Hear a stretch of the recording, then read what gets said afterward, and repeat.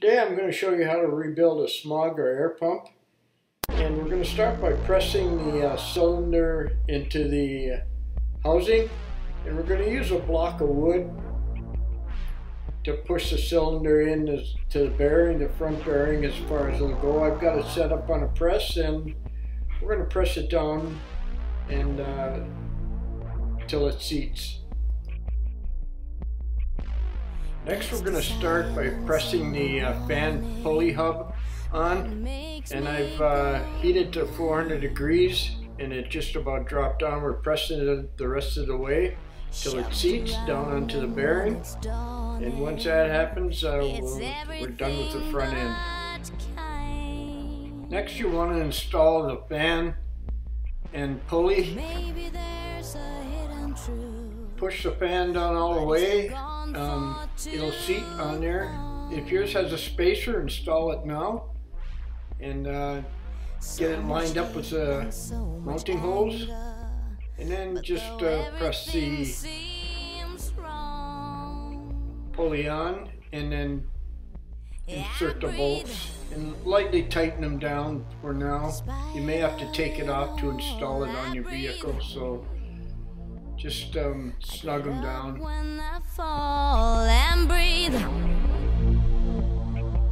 Sometimes the air seems thinner, but I breathe. Now we're going to install the carbon's uh, air vanes and the graphite sealing blocks. And first of all, we're going to put in the uh, end blocks, which are semi-curved, and they're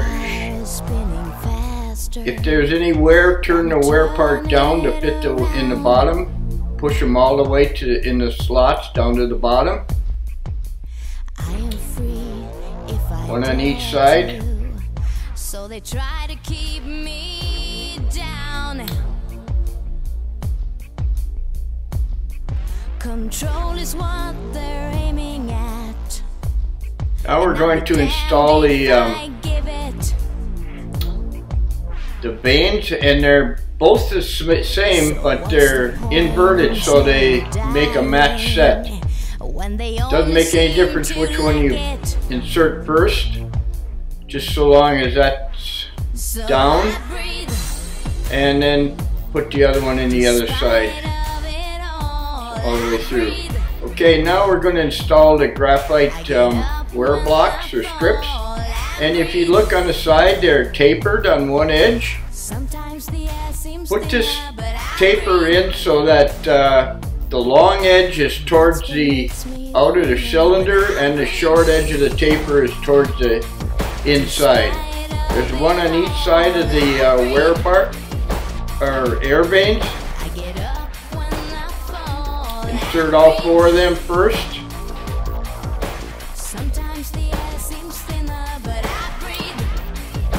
Making sure that the uh, wear block is the right way.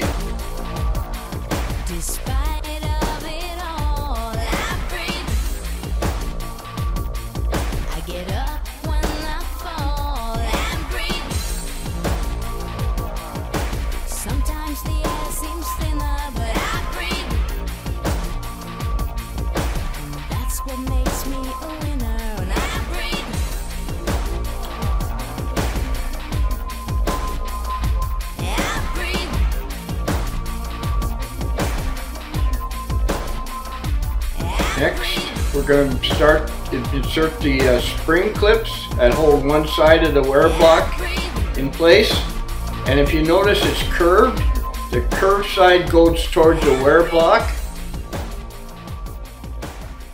And the other side goes towards the outside of the uh, slots. Push them down all the way and put the other side in. On the longer side of the uh, um, slots, so they go in on the longer side. Now install the uh, end wear block and if there's any wear on it um, turn it over so that it's uh, facing the right way. Okay, if you need new strips, you can order these uh, on eBay as a rebuild kit, air pump rebuild kit. And uh, in case yours are broken or damaged. Okay, now we're going to uh, insert the end cap. And it'd be better off if you press this down then hammer it down in place and make sure when you press it in place it's flush with the edge of the outer cylinder.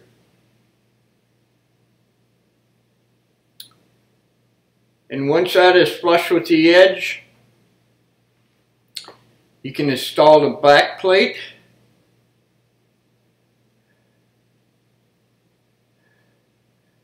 and you'll have to rotate this around a little bit to get the uh, locating pins to line up.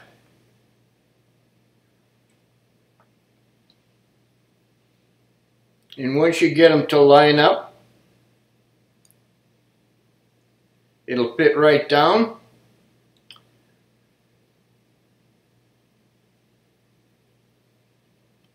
Now install the uh, back bolts.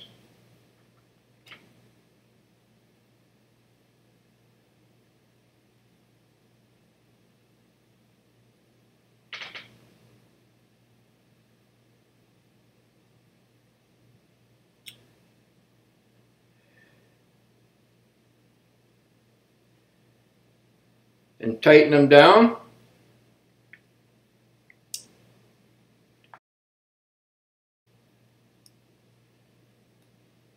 And once you get them all in place and tighten down,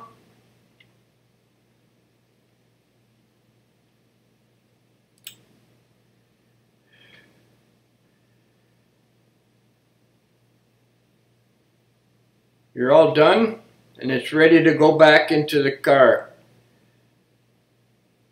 Thanks for watching.